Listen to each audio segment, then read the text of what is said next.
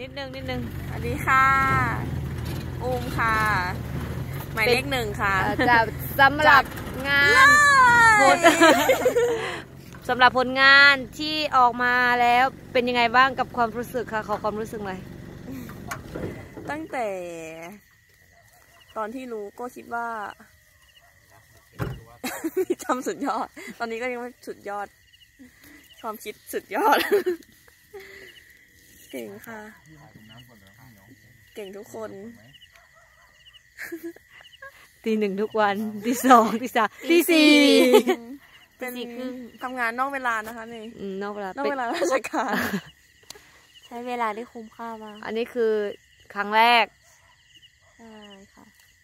แล้วก็มีครั้งต่อเป็นไปไงเป็นเป็นเรื่อยๆเป็นยังไง challenge challenge ครั้งแรกกับการทำงานหุ่นฟาง รู้สึกยังไง รู้สึกยังไง ก็รู้สึก รู้สึกเหนื่อย แต่ก็สนุกค่ะ อ่า แต่พอเห็นงานแล้วเป็นยังไงบ้างเห็นผลงานตัวเอง ก็เหมือนพี่พี่นนท์ว่าพี่นนท์ว่าไงทำปด้ยังไงอ๋อทำยังไงดูดูทำไปได้ดูได้ทำไปไงได้ยังไงผมก็ยังคิดว่ามันจะขึ้นไม่ได้มันเหมือนกัน ยิ่งดูนะจะใช้บอกว่าคนขึ้นนี่สิเออจับไม้ไปเฉยๆอะไม่คิดว่าแบบ ไม่คิดไม่ออกแต่ไม่จับก็จับไป ไม้หนักมาก เห็นเห็นถึง ดูอะทำไปเจ้าของได้ไงผลงานหน่อยนะคะ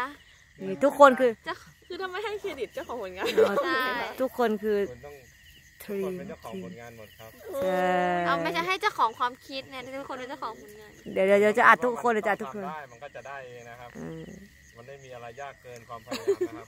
ผมทางทางนั้นที่ตอนทำก็เครียดไหมเครียดมาก แต่ว่าตอนทำทำเป็นยังไงรู้สึกไหมตอนไงครับแต่เครียดตอนทำน่ะมันจะดคือนายช่างอะอ่ายัยังคิดภาพไม่ออกเลยว่าจะเป็นคนยังไง คือตัดอ่าฮะไม้ไปตาม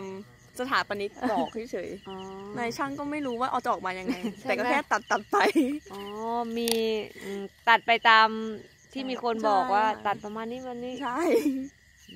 ตอนวาดภาพให้กันดูก็ยังงงๆกันอยู่เลยอืมว่าจะทำได้ยังไงเออแต่จริง ๆ จริงๆแล้วเหมือนเหมือนเหมือนตากล่องมากเหมือนตาเหมือนเจ้าของที่ยอนเหมือนเหมือนตาทวดมากเลยนะผมก็บอกว่าเห็นไหมข้าวอะ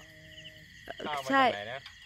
ข้าวก็จากเนี่ยทุ่งนานี่แหละเห็นไหมครับไม่ไม่น่าเชื่อมันจะมีให้เราเออใช่เพราะว่าตามปกติมันต้องโลนหมดแล้ว แล้วก็หมดแล้วฟาดหมดแล้ว แต่มันเหลืออยู่บ้านพี่จ้ำอะอ๋อมันหล่นเหลืออยู่ใช่ไหมคือไม่คือเหมือนประมาณเกี่ยวไว้แล้วแบบ ไม่ได้เอาไปตีหรืออะไรอย่างนี้นะ เหมือน เออเหมือนรอจริง ๆ เลย